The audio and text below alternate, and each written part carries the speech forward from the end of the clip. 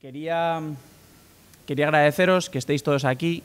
Este acto es una manera de, de, iniciar el curso al margen de todas las cosas que ya hemos ido teniendo, el acto de inicio para los de internacional, el acto de inicio para los de primero, primer día de clase singular, y es una manera de hacer todas estas cosas que quería compartir hoy con vosotros. Hace muy poco acabamos de entregar los fines de carrera y tuvimos una jornada que fue muy bonita, ver cómo ese recorrido que empecéis ahora acaba en muy poquito tiempo antes de que os deis cuenta.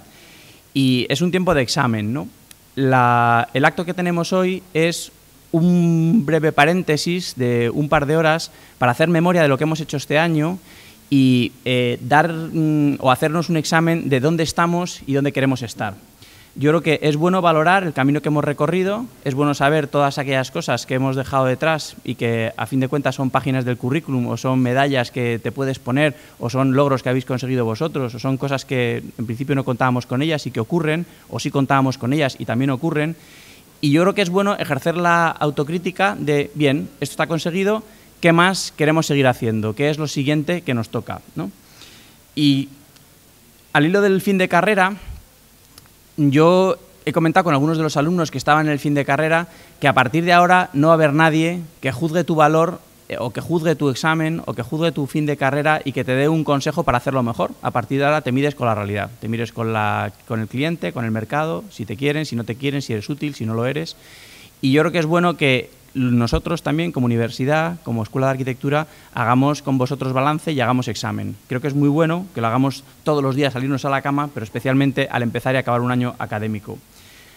Por eso será una breve memoria de lo que hicimos este año, para que veáis las cosas que podíais haber estado y en muchos días sois los protagonistas vosotros y sois vosotros los que las contáis. Al mismo tiempo, es un buen momento para decir, iniciamos un nuevo proceso y queremos tomar un nuevo impulso para ver qué nuevas cosas nos queremos proponer qué es aquello que este año nos aparece en el horizonte como meta y cómo queremos abordarlo, de qué forma le queremos dar forma.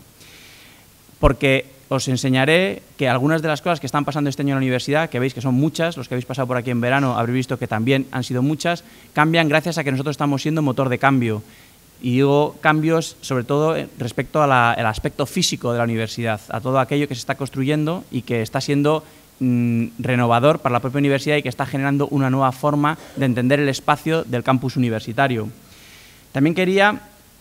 que eh, entendáis que nosotros estamos en permanente movimiento para mejorar vuestra oferta académica, no solamente la del tiempo que estéis aquí, sino la de cuando acabáis los estudios, porque nos importáis quiénes sois cuando acabáis la carrera y nos importa vuestra formación de posgrado, nos, nos importa vuestra inserción laboral y estamos permanentemente con las antenas desplegadas para saber qué es lo que se está pidiendo o qué formación adicional están cursando vuestros compañeros, aquellos que ya se graduaron y que están buscando en qué lugar eh, pueden incorporarse al mercado laboral. Por eso tenemos hoy también tres eh, importantes ofertas que enseñaros y que os las contarán sus protagonistas. También tenemos que, eh, o querría que hoy fuera un día de cuidado de la comunidad. Y tenemos comprobado y vamos viendo año tras año que cada uno de vosotros de manera individual nos acercamos, sabemos quiénes sois, sabemos cómo podemos echaros un cable y es cierto que cada curso tiene su propia personalidad y que de la manera en la que cada uno interacciona dentro del curso hay cursos que tienen un carácter, cursos que tienen otro. Y por lo mismo esto ocurre con la universidad y por lo mismo esto ocurre con la carrera de arquitectura. Y creo que es bueno que cosas como estas ocurran, igual que ocurren los viajes, igual que ocurren otras muchas actividades, en las que se está cuidando el cuerpo común, eh, la comunidad y de qué forma esa comunidad está teniendo un carácter u otro y que nosotros tengamos algo que decir en ese proceso. Finalmente, estamos o veremos un, eh, breve repaso de todas las cosas que se han hecho este año para que sintáis como miembros de la Escuela de Arquitectura cómo está creciendo la universidad. Y luego, y por último, dar gracias a todos vosotros y haremos un especial apartado en esto para que podáis, para que podáis disfrutarlo. Bien. Este año había una, una necesidad importante de aulas, de cafeterías, de aparcamiento y de crecimiento en medicina y de mejoras puntuales del edificio, del edificio común del campus. Lo haré muy rápido, esto es una presentación que me pidieron hacer en la jornada que tenemos para el personal de la universidad.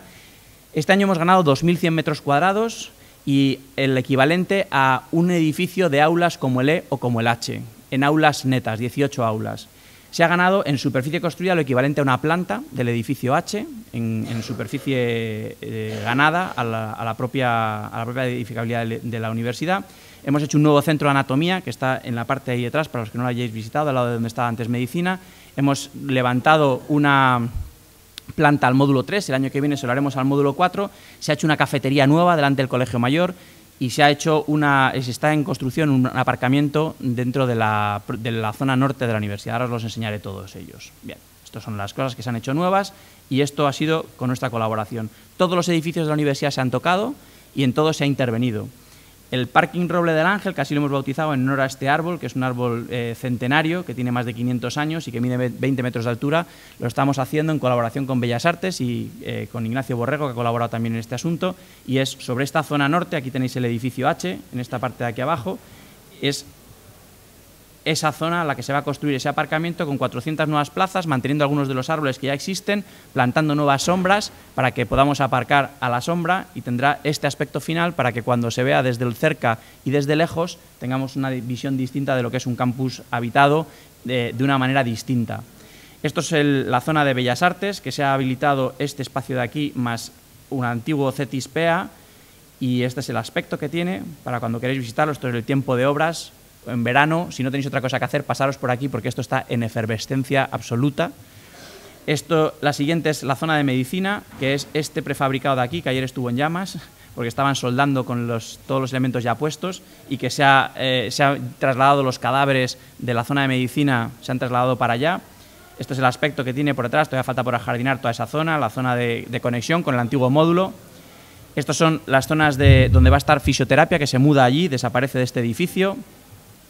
Esta es la, cubierta del módulo 3 que se ha hecho nueva. Aquí se ha metido toda la facultad de comunicación y se han liberado las aulas de la planta baja, porque el plan director del campus lo que dice es que intentemos que los profesores estén en la planta más uno o más dos y dejemos toda la zona de abajo para alumnos.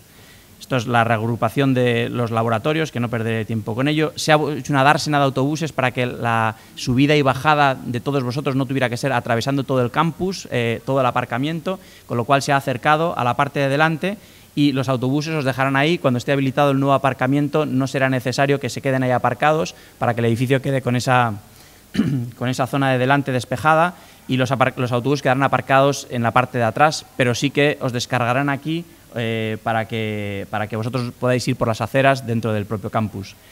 Estos son las aulas, el aspecto que tenía antes, para los alumnos de primero no han llegado a verlo como era, pero antes de la primera planta del H y del E no se podía atravesar de un lado para otro. Esto es un proyecto que hicimos hace cinco años, eh, los becarios que trabajan conmigo, en este caso fue Víctor García Castro, el primero que le metió el diente a esto, y dije yo, que eh, era necesario hacer esas comunicaciones, se hizo unos dibujos, se presentaron y en el momento que ha habido el dinero, los fondos y la, y la, necesidad de aulas, pues se han habilitado. Yo he pedido que por favor que nos dejaran utilizar esas aulas como fin de carrera, que era una, una reclamación longeva en esta casa y efectivamente nosotros podemos utilizar ese espacio, que son aulas dobles con unos tabiques que como ya hemos podido utilizar, se mueven el espectáculo de las vigas llegando ahí de 20 metros de lado a lado, que tenían una altura de un centímetro a cada lado, fue eh, ciertamente sobrecogedor. Siento que no os lo pudierais eh, disfrutar, pero para el verano que viene, que seguirán pasando cosas de estas, estáis invitados cordialmente. Esto era el proceso y esto es cómo ha terminado.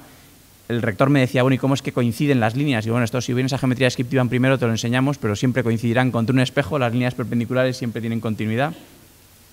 Los vidrios que hemos puesto ahí, para el común de los mortales no le dice nada, pero ahí tenéis dos vidrios colocados y dos vidrios sin colocar. No se pierde prácticamente luz de dentro a fuera, pero sí que de fuera a dentro conseguimos que no haya esa reflexión o esa entrada de luz y de temperatura. Estas son las zonas comunes en las que vamos a poder trabajar, porque la idea es que la universidad esté habitada y que vosotros podáis estar en la propia universidad trabajando. Se aprende muchísimo más trabajando en grupo que cada uno en su casa y yo os invito a que el tiempo que tengáis que hacer, vuestras tareas comunes, algunos de vosotros me decís con insistencia que no entendéis esa separación entre clases, la hacemos aposta para que puedan ocurrir cosas eh, de coordinación entre asignaturas, para que pueda haber tutorías y se pueda tutorizar a vosotros o para que podáis trabajar en equipo en estos sitios que hemos habilitado para que podáis colonizar. Esto es como están ya en uso, ya utilizables, las aulas cuando estaban en proceso y ahora ya rematadas. Estas son las zonas del sótano que se han transformado en, en lugares de estudio para la biblioteca que también hacían falta y en laboratorio de criminología nuestra zona de relaciones internacionales que pedían poderos atender con un poquito de paz y con un poquito de, mm,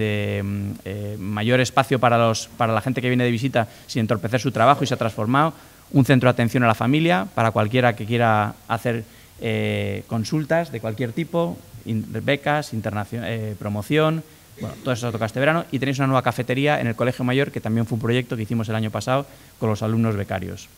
Esto ya está en proceso, está a punto de amueblarse. Y este es el polideportivo que está en excavación. Este año vamos a tener una obra de primer nivel, Alberto Campo Baeza, si Dios quiere, en breve le traeré para que nos dé la conferencia a él de qué es el polideportivo, pero todo este año se va a estar construyendo un polideportivo de cerca de 7.000 metros cuadrados, que va a tener piscina cubierta, que va a tener eh, zona de acuaterapia, que va a tener eh, oficina... Eh, oficina de, rehabilitación, de fisioterapia, clínica quería decir, perdón, va a tener un aulario para los de CAFID, va a tener eh, gimnasio con spinning, con peso libre, con peso guiado, con salas multiuso y una cafetería también muy grande para poder aumentar. Esto quedará enfrente de las zonas de pádel y este es el aspecto. Lo que Alberto y, y, la universidad decidió es que sea un polideportivo que no huela a polideportivo y no se refiere al olor físico, sino al aspecto que eso va a tener Y finalmente yo quería, porque las eh, presentaciones de hoy tienen que ser eh, mm, a velocidad del rayo y yo tenía nada más que 10 minutos y a los que venís después os pido que hagáis por ceñiros, ya Marta me ha hecho la señal de que estábamos pasados, yo quiero dar las gracias y creo que esto es muy sano en muchos momentos y no, no parece que, tengamos el minuto adecuado para dar las gracias. Y quiero dar las gracias a los profesores, a todos ellos, pero muy especialmente a Marta, que está todo el día al pie del cañón y que aguanta eh, lo que sea para poder estar a vuestro lado, a Manuel, que ha estado llevando este año el tema de becas y empleo y dejándose la piel con vosotros, a Emilio, que estado llevando el tema de calidad y que es también un apoyo fortísimo, a Antonia, que le toca padecer o, acompañaros en vuestro último recorrido del fin de carrera, que siempre es complicado y delicado, a Carlos, que nos está ayudando con el tema de las publicaciones, y a Pablo y a Javier Martínez Moronta, que también están también al pie del cañón, y creo que sin ellos esto no funcionaría igual a los alumnos, a los becarios, a los delegados, a los voluntarios, a los que vais a venir hoy aquí a contar todo esto y a los que están perteneciendo a Alumni, que gracias a ellos ya tenéis sitios donde podéis ir a, empezar a trabajar, porque ellos cuando dejan su plaza nos avisan, oye, que me voy de tal sitio, que voy a tal otro, o nos proponen sus empresas, o las que han empezado, o nos proponen colaboraciones, como una de las que os vamos a contar hoy. A los colaboradores y aquí quiero agradecer a, pues, al PAS, a Promoción, a Relaciones Internacionales, a la gente de Prácticas y Empleo yo estoy eh, asombrado de lo que ha pasado este año con las prácticas de empleo. Es el primer año que se hacen las prácticas de empleo con nota y todos los empleadores vuestros nos han devuelto una calificación de notable sobresaliente. No ha habido, bueno, solamente ha habido una persona que no ha podido cumplir las prácticas porque ha tenido un percance, pero el resto todos notable sobresaliente por parte de vuestros empleadores. No hemos tenido a nadie que no haya recibido una, una palmada en la espalda y además sincera y ellos no tenían por qué decirnos otra cosa que efectivamente estáis cumpliendo muy requete bien. A los nuevos socios, a los de los másters, hoy viene la gente de IDESIE y de ADEN y, unos compañeros vuestros que nos van a contar unas cosas, y a los patrocinadores, que son los que luego nos darán los premios en los concursos. Aprovecho para deciros que cuando os ponemos concursos para que participéis o todas las comunicaciones que os mandamos, pensad que todas las comunicaciones son para ti, y que solo si no puedes no las aproveches, porque a veces dan eh, entre vergüenza y un poco de pena que no se aprovechen cosas que dices, mira, se va a repartir de repente 2.000 euros en premios que son solo para nosotros y ha habido una participación en un concurso en el que hemos necesitado llamaros casi personalmente y presentaros, que de verdad que merece la pena y es una de las formas más habituales de ingreso al mundo laboral. Yo creo que esto debíamos tomárnoslo en serio y ese contacto que tenemos con la realidad implica sí o sí pasar por el mundo de los concursos. Bien, con esto y con este agradecimiento a todos los que vais a participar hoy, quiero pasar el testigo a Marta, que será la jefa de ceremonias de este acto.